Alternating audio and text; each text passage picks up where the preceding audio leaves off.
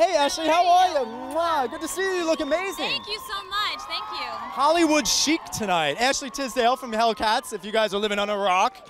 Um, congratulations on the nomination, first of all. Thank you so much. Thank you. Did you guys think you had something special when you start, first started taping?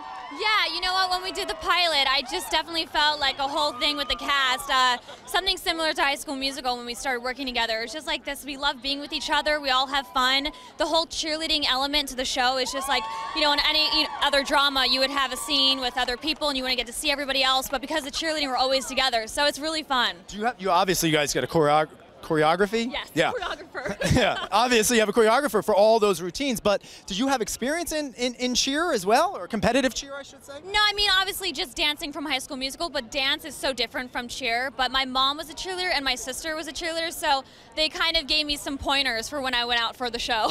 What was one of their pointers? well, it's very like stiff, like kind of military. it's not Yes. as like freeing as dancing. And what's it, the, the spirit fingers? Do you do the spirit fingers? Don't do the spirit Oh, finger. that's where you wave the fingers up in the air? Yeah, I definitely know the spirit fingers. I watched Bring It On quite a few times. well, Ashley, congratulations on being nominated. Have a wonderful time. Thank you You so look gorgeous. Can you give us a quick spin? Sure. Beautiful. Thank you so much, Ashley.